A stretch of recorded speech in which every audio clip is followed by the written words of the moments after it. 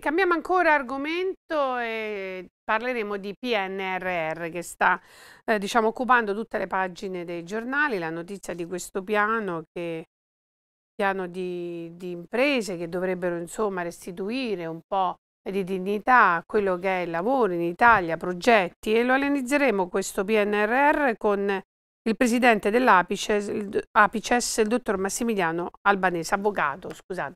Buonasera avvocato. Buonasera, buonasera a lei, buonasera ai telespettatori, grazie per il vostro invito. Grazie a lei. Allora inizierei, avvocato, cercando di descrivere e spiegare ai nostri telespettatori che cos'è l'Apices e eh, nello specifico di che cosa si occupa. Molto volentieri. L'Apices è un'associazione sostanzialmente, il, la denominazione è un acronimo, sia una sigla che sta per Associazione Professionisti ed Imprese per la Cooperazione Economica e Sociale. Quindi è un ente che già declina nella propria denominazione quella che è la propria mission, ossia creare una rete tra eh, imprenditori, professionisti, ma direi anche donne e uomini delle istituzioni, cittadini che si impegnano in generale per tutto quello che è il settore della cooperazione intesa in senso lato, sia dal punto di vista sociale che dal punto di vista economico. In particolare l'Apices si occupa di studiare le economie dei paesi in via di sviluppo, per cercare di individuare all'interno di quei mercati quelle che sono le migliori opportunità da offrire a quelle imprese, soprattutto prevalentemente ma non esclusivamente italiane, che vogliono investire nel settore dell'internazionalizzazione del proprio business e quindi andare a contribuire allo sviluppo di quei paesi appunto con le proprie attività, i propri investimenti le proprie esportazioni. Di fatto eh, si crea così un meccanismo direi win-win in cui da un lato creiamo del valore, del valore per coloro che investono appunto che vanno a operare in mercati nuovi, dall'altro lato andiamo a favorire lo sviluppo di quei, di quei paesi, di quei mercati. Tutto questo noi lo facciamo sulla base di eh, relazioni dirette che l'Apices attraverso il proprio network di eh, amicizie, di collegamenti, di intese anche internazionali è riuscita nel corso degli anni a costruire con i governi di quei, di quei paesi eh, io rivendico con eh, un po' di orgoglio, se me lo consente, che la nostra è una delle poche associazioni totalmente private, cioè non partecipate da enti pubblici o da grandi eh, realtà. Noi siamo un gruppo fatto prevalentemente da operatori del cosiddetto small business, quindi eh, piccole, medie, micro, piccole e medie imprese, non abbiamo grandi imprese nella nostra struttura né enti pubblici, ciononostante siamo riusciti a eh, invitare e a ottenere l'attenzione di rappresentanti di vertici delle istituzioni di alcuni paesi stranieri, abbiamo avuto capi di Stato, membri di governo che sono venuti a farci visita a Roma, che hanno incontrato i nostri soci, i nostri partner, hanno parlato con loro, hanno presentato e raccontato le opportunità dei loro paesi e da questo sono nati poi dei focus, dei, dei, dei momenti di approfondimento che hanno consentito ai nostri partner eh, associati appunto di andare a realizzare, a proporre prima e poi realizzare dei progetti in quei paesi. Quindi diciamo che è un meccanismo eh, che una volta si sarebbe definito di passaparola, in realtà è qualcosa di un po' più complesso, che consente però di superare tutta una serie di ehm, complicazioni burocratiche, facilita un po' i passaggi. Ecco, Apices è uno strumento che agevola le relazioni tra le persone che ne sono membre e, e mh, tra eh, questi e eh, i paesi destinatari dell'interesse appunto dei propri membri. Ecco, ma questo... come è impattato, Presidente, anche nel settore dell'internazionalizzazione e sui consumatori anche? Beh, mi fa piacere, la ringrazio che lei citi i consumatori perché eh, mi consenta di dire che io in realtà ho una doppia veste. Nella vita faccio l'avvocato, questo ogni tanto mi piace ricordarlo, però ehm, con grande, grande attenzione a tutto quello che è il tema della responsabilità sociale d'impresa e da questo è nata anche la mia eh, intensa attività di manager nel, nel cosiddetto terzo settore. Sono, come abbiamo detto prima, eh, in questa sede rappresentante dell'Apices in qualità di suo presidente, ma ho anche il ruolo di segretario federale, ossia di coordinatore, diciamo così, nazionale, portavoce, principale portavoce dell'UCI, che è l'Unione Consumatori Italiani, appunto, un'associazione di categoria che ehm, tutela eh, i diritti e gli interessi su scala nazionale eh, dei, dei, consumatori di beni, degli utenti dei servizi, ehm, in un modo, mi consenta di dire, ehm, un po' diverso da quella che è la mera attività sindacale di rappresentanza, insomma.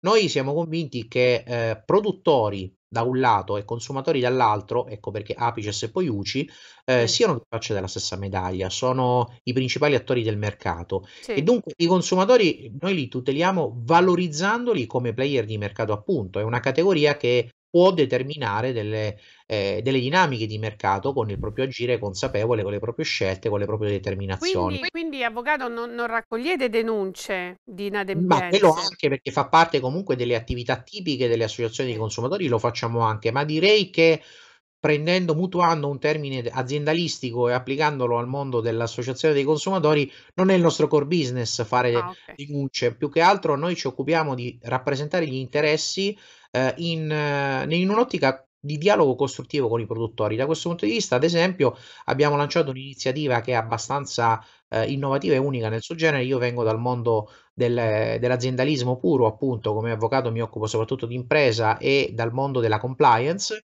e quindi di tutta quella che è anche la mh, ehm, certificazione dei processi aziendali.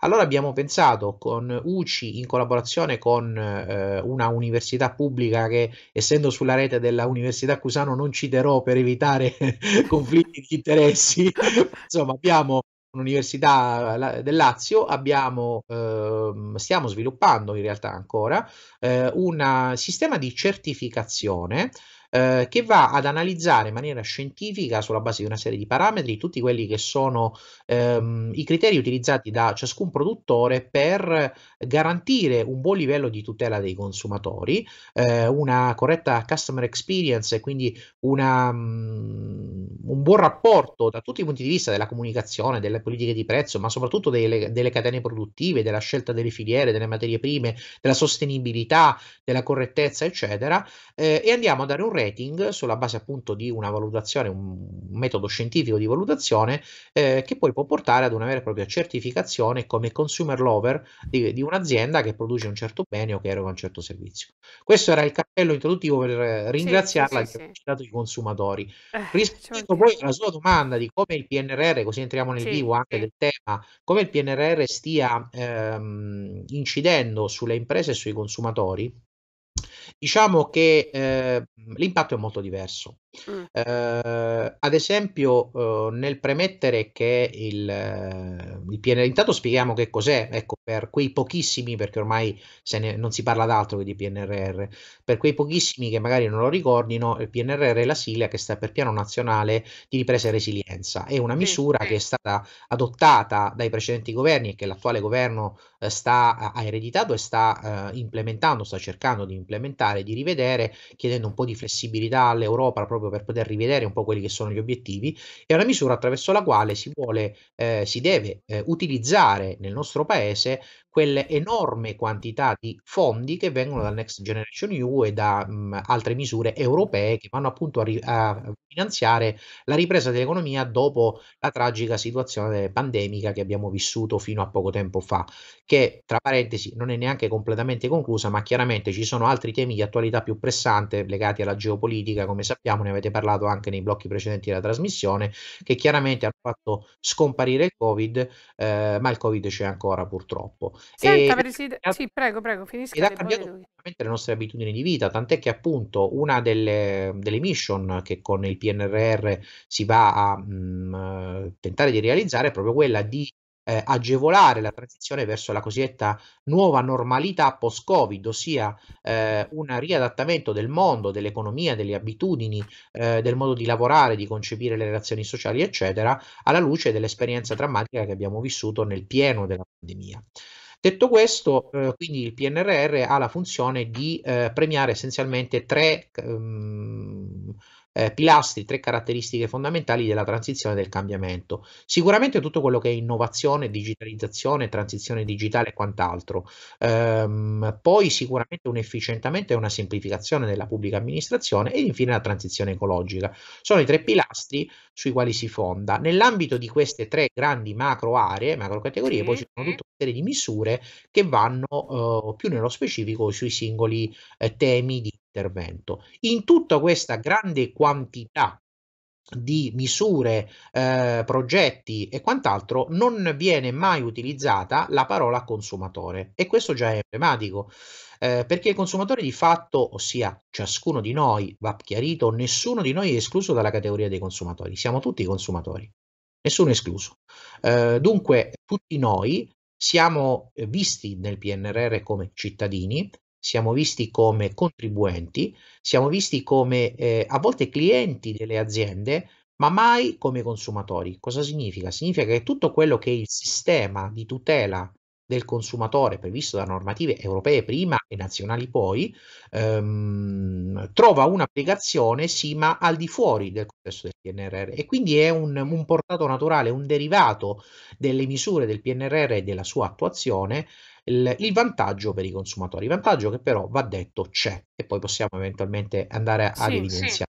Senta, eh, Presidente, io le vorrei chiedere eh, come è possibile visto che lei studia impresa e insomma sa muoversi in questo settore, che per esempio la società Portobello, l'SPA Portobello, che è specializzata nell'apertura di centri commerciali, usando il meccanismo del barter, tradotto il baratto, invece dell'acquisto certo. normale. Certo. Ecco, com'è certo. possibile che questo tipo di sistema sia così vincente e che questa è divenuta una società totalmente in crescita che è riuscita ad aprire in un anno 16 punti commerciali di grandi eh, punti vendita, grandi mall, come direbbero negli Stati Uniti, in tutta Italia, anche in zone abbastanza desolate della Calabria, della Sicilia, della Puglia, dove insomma questo tipo di apertura di centri commerciali è anche un po' a rischio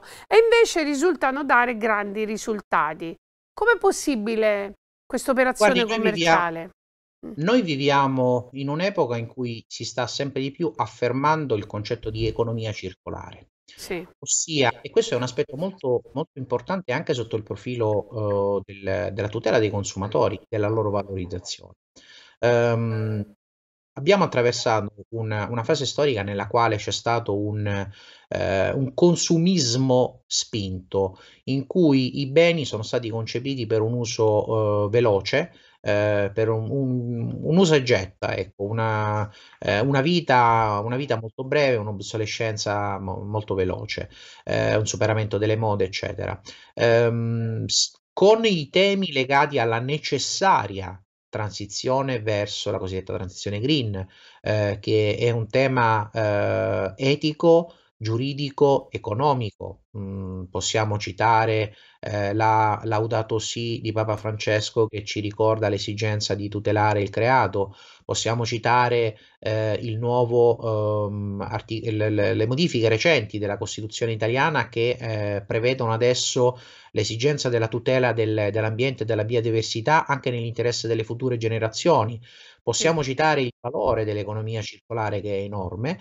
Viviamo in un'epoca nella quale si comincia ad affermare, a comprendere, a diffondere la consapevolezza che c'è la necessità del riuso, del riciclo e quindi il baratto di beni molto spesso usati, mi pare se non sbaglio che quella società sia specializzata anche nella rivendita di oggettistica usata, di beni usati eccetera. Anche, anche, eh, non solo, anche. Non solo, anche mm. sì, infatti ehm, ma lo scambio anche, lo scambio di oggetti, il baratto appunto, tutto ciò che fa circolare le cose, che quindi consente una nuova vita, un riuso eh, dei beni eh, e una loro consumazione più lenta, e sicuramente in linea con quello che è il naturale portato di una serie di misure anche incentivanti che sono ad esempio all'interno del PNRR che appunto sull'economia circolare dedica eh, importanti misure. Ehm, quindi io credo che sia abbastanza ehm, normale, ovvio direi quasi, che in un contesto del genere chi ha avuto delle grandi capacità di comunicazione, di storytelling, di marketing, ha saputo collocarsi sul mercato come un leader di, questa, di questo ambito, di questa tematica, possa eh, aver accresciuto il proprio business, aver aperto tanti punti vendita, essere diventato una realtà imprenditoriale importante, ma proprio perché, ripeto, ha saputo muoversi nel momento giusto, nel posto giusto, nell'epoca eh, giusta, eh. nell'epoca appunto dell'economia circolare. Non mi stupisce questa cosa, anzi la ritengo eh, abbastanza ovvia e giusta.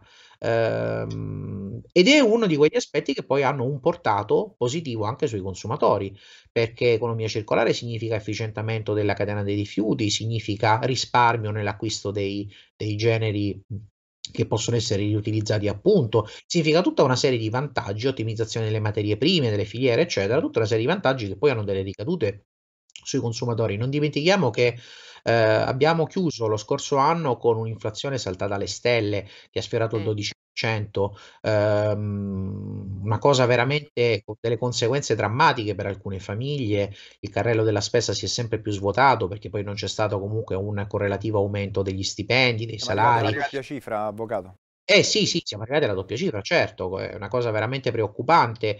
Eh, c'è stato l'anno scorso veramente un trend, noi l'abbiamo misurato, un trend di aumento di un punto ogni mese, quindi abbiamo sfiorato appunto nei 12 mesi dell'anno il 12%. Eh, è una cosa veramente drammatica, mh, tanto per ricordare un dato che io molto spesso ho citato in, in tante occasioni nelle quali ho avuto una tribuna come questa per poter raccontare quello che facciamo. Eh, a marzo, quando eravamo all'inizio della crisi, della crisi legata alla stabilità geopolitica, crisi ucraina e quant'altro, eh, un chilo di pane nella città di Ferrara era arrivato a costare 9 euro che è una cifra totalmente folle, priva di qualsiasi fondamento economico, di qualsiasi giustificazione, frutto di speculazione evidentemente, però ecco, eh, questo tipo... siamo arrivati a 12, avvocato. Ci sono stati sì dei casi poi in divenire, quella di marzo è emblematica perché era la, la, prima volta che si, eh, si andava a registrare un prezzo così alto per un bene di assoluta Beh, necessità, sproporzionato, insomma. Certo, certo.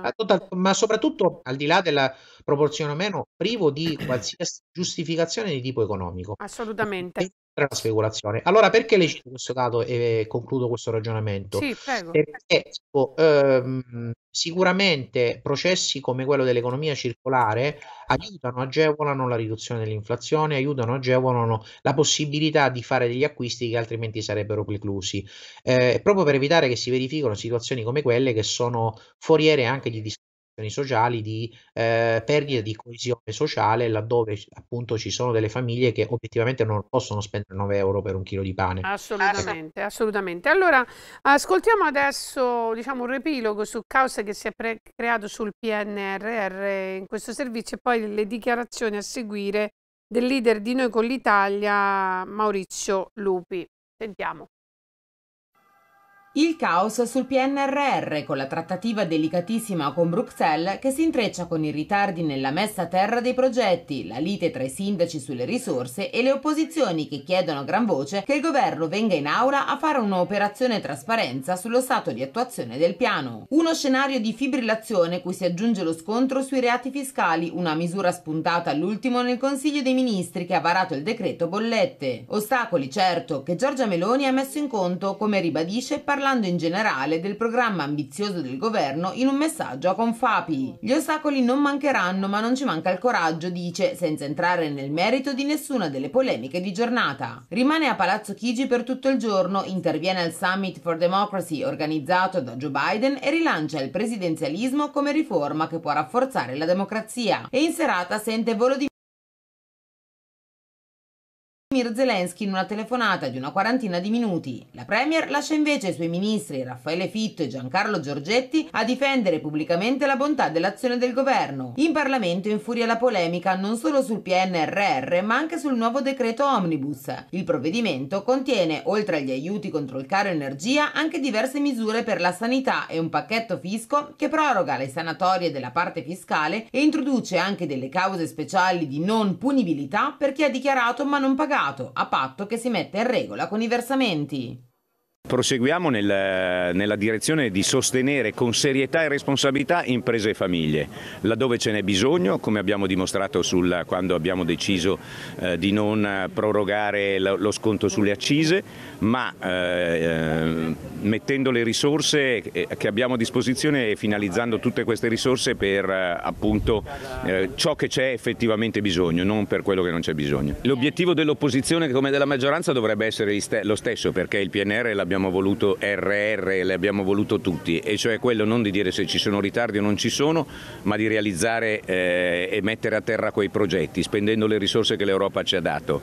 Bene ha fatto il Ministro Fitto ad essere serio e realista con l'Europa, eh, c'è questo mese di tempo per recuperare tutti i ritardi, eh, se andiamo sempre a caccia del colpevole in ogni caso non, non, se, ne esce, non se ne va da nessuna parte, l'interesse è eh, superare gli ostacoli che ci sono e metterli a terra. Ma è stato un po' un richiamo alle commissioni parlamentari comunque? Beh, è stato un richiamo a, alla responsabilità di, di, tutti, del Parlamento e del Governo. Eh, io credo per una volta almeno l'opposizione ci aiuti e siccome l'abbiamo costruito insieme il PNRR, chi è oggi l'opposizione e chi eh, oggi è in maggioranza, basta con le polemiche strumentali e creiamo le condizioni di accelerare eh, per, eh, laddove c'è da accelerare per il Parlamento e al Governo di mettere eh, con serietà, Fitto sta lavorando bene in questa direzione, a terra i progetti, perché l'unica cosa che c'è da fare è spendere bene le risorse che ci vengono date. Allora, su questa battuta, Avvocato Albanese, un suo commento in chiusura velocemente perché abbiamo 40 secondi. Allora, guardi, spendere bene le risorse che ci sono è la cosa più, più ovvia e più corretta che si possa fare. Serve un po' di elasticità perché gli obiettivi che sono stati fissati dal PNRR sono degli obiettivi che non tenevano conto di tutta una serie di dinamiche che si sono venute a sviluppare poi nel corso degli ultimi mesi, ehm, per cui mh, ad esempio sul tema dell'internazionalizzazione che a me è molto caro legato ad Apices, noi abbiamo circa 2 miliardi di ehm, piani di, ehm, di, investimenti, una misura da circa 2 miliardi, ma eh, internazionalizzazione vuol dire export. Consideri che il PIL italiano è fatto di circa 2 mila miliardi e di questi 2 mila miliardi oltre 500 miliardi, cioè oltre un quarto, sono determinati dall'export. Quindi noi parliamo di un quarto del nostro PIL. Per un quarto del nostro PIL abbiamo dedicato una misura minima che è di 2 miliardi, ad esempio, ma se ne potrebbero fare altri. Bisognerebbe cercare di ehm, rivedere forse alcune, alcune misure e andare a spendere meglio il denaro dove realmente serve. La corsa alla transizione green è importante, agevola tutti quanti noi, agevola le future generazioni come prevede da ultimo la Costituzione come modificata però non tiene conto ad esempio dei problemi delle filiere internazionali molto lunghe che esistevano quando eh, è stato pensato questa, questo tipo di approccio, eh, ossia l'approccio alla transizione ecologica al mondo green, e che oggi non sono più attuali perché dopo la pandemia certo, ci siamo resi certo, conto dif- certo. con le, la crisi geopolitica ci siamo resi conto della difficoltà di tenere delle filiere molto lunghe.